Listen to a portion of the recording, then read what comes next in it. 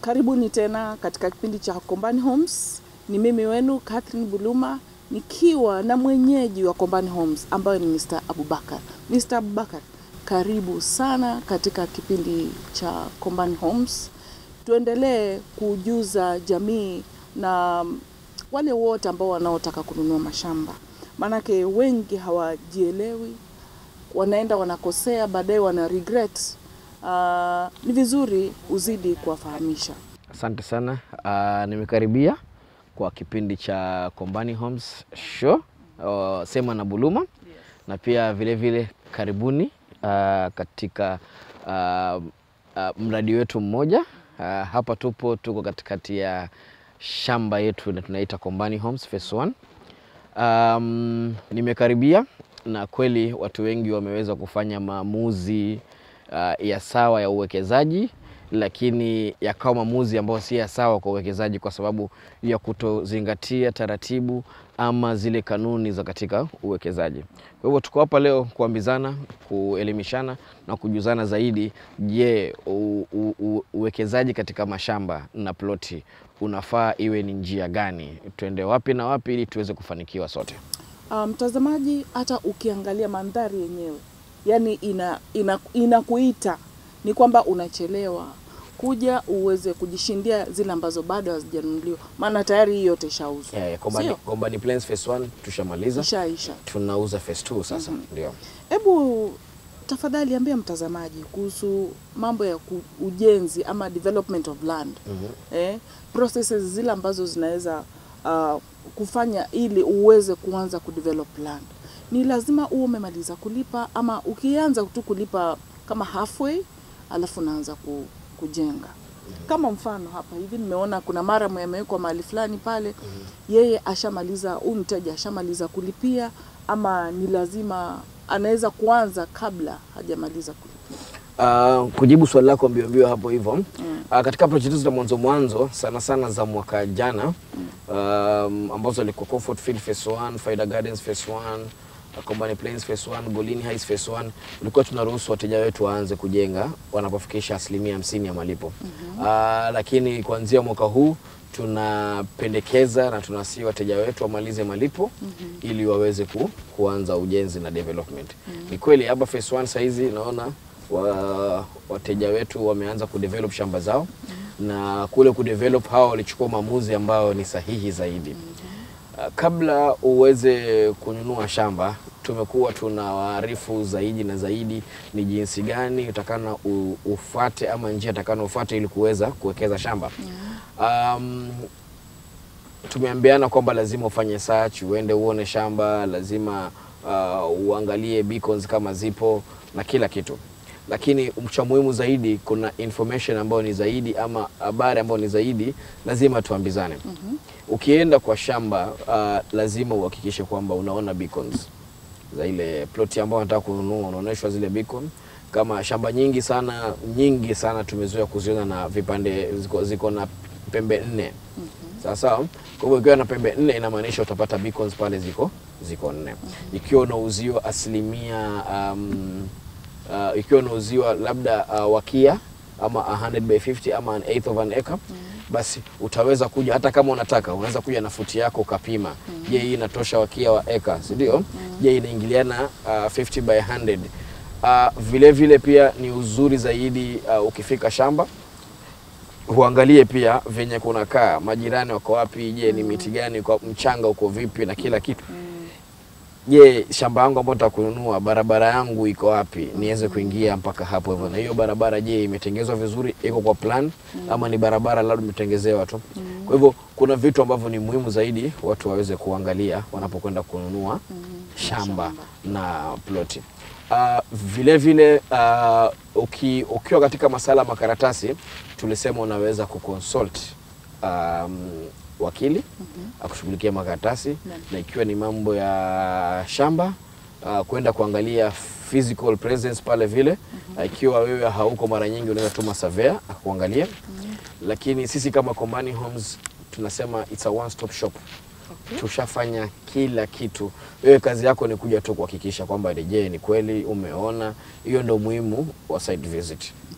Ndio Kwa hiyo unamaanisha kwamba mambo ya surveying wewe ndio unashughulika? Kila kitu, ndio. Na mambo ya kulipia, mambo ya title deeds, kila kitu wewe ndio, yani u, ni alipe umpatie cheti, na shamba yake. akishamaliza aweze kuanza ku, kujenga. Kweli kabisa, unaponunua Kombani Homes, zile gharama ambazo tumeziweka ni gharama ambazo zinasimamia shamba yenyewe uh, zinasimamia kitu tunaita survey charges mm uh, kwamba tushafanya subdivision, tunakuwekea beacons na tunakutolea title. Mm. Uh, transfer charges, kulipa stamp duty, valuation na registration mm. -hmm. tunalipa.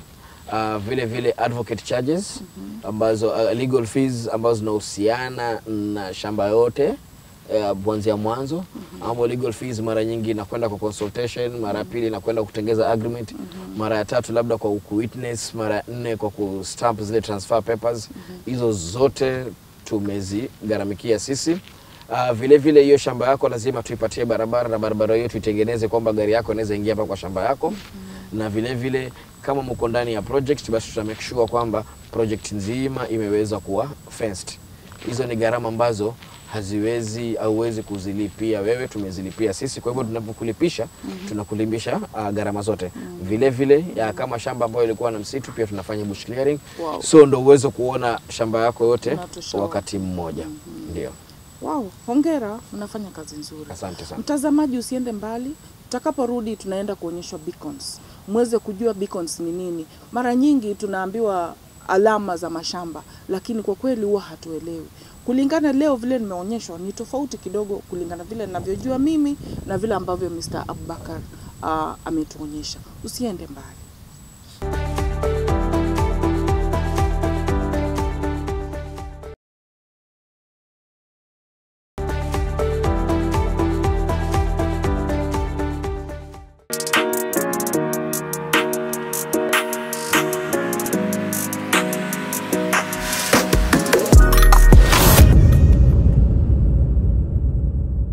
Mtazamaji, natumaini kwamba umefurahia ama umesoma jambo katika kipindi hiki. Umeonyeshwa beacons na tofauti ya beacons zile unazojua wewe, zile ninazojua mimi na zile tumetoka kuonyeshwa, kwa kweli ni tofauti, na nimeona umuhimu wa kuwa na beacons kwenye shamba lako. Na Mr. Bakar, umesema kwamba beacons ni mojawapo ya value additions, so inamaanisha ziko zingine. Tafadhali mjuze mtazamaji. Um, mtazamaji pale unapo unapoona tunachokiona saa hizi ni kwamba hizo ni zile beacons ambazo tumeshaziweka pale kombani, hapa Kombani Plains phase 1 na tayari hizo hayo ni mashamba ambayo washanuliwa na wenyewe. Kwa hivyo beacon ni alama za kuonyesha uh, ukubwa wa shamba na mwanzo wa mwisho wa shamba na mipaka kabisa ya shamba. Kwa biko ni kitu muhimu sana, na shamba ambayo kawaida haina beacon inakuwa unsurveyed mara nyingi, na ikiwa unsurveyed uh, thamani ya shamba kidogo inakuwa inashuka bei. Ukiweka beacons pale, maana shamba iko surveyed, na shamba ikikuwa surveyed thamani yake imepanda bei.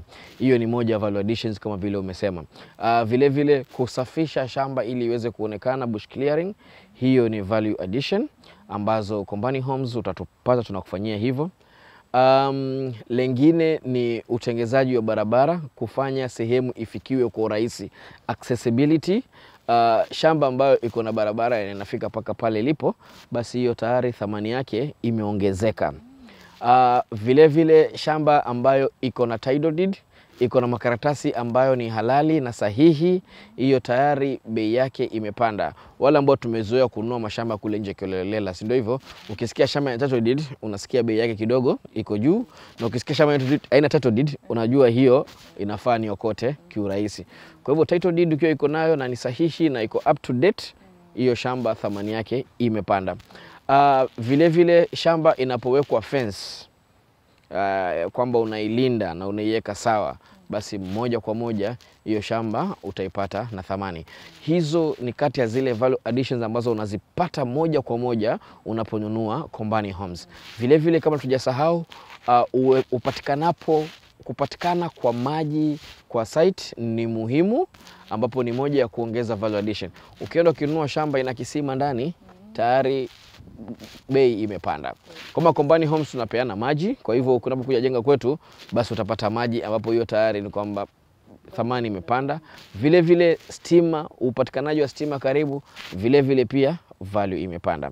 Kwa hivyo hivi vitu vyote ambavyo tunakupatia tunasema these are value added plots ama ni shamba ambazo zimeongezwa uboreshwaji kwa thamani ili uweze kupata kitu bora zaidi.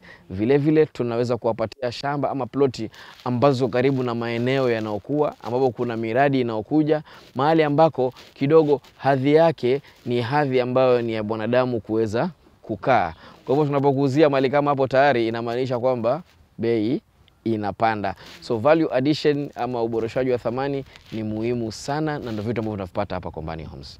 Kwa hiyo inamaanisha kwamba kuweka mambo ya barabara, mambo yeah. ya hizo beacons na kuweka mambo ya fencing, yeah, yeah. mambo ya maji na stima mnagharamika nyinyi. kabisa ile bei unaotulipa sisi ukinaponunua ukinunua pale Diani Copras laki nne juu laki nne utapata mambo yote hayo pamoja na shamba na title deed yake. Wow. Ndio Mtazamaji, usichelewe, nyinyakulie ninyakulie kabla hazijaisha. kweli kabisa. Uh, Mr. Abu, hebu kuna tofauti ya ya nini ya rents na rent. Mhm, Hebu nafikiri kuna kitu misielewi mhm.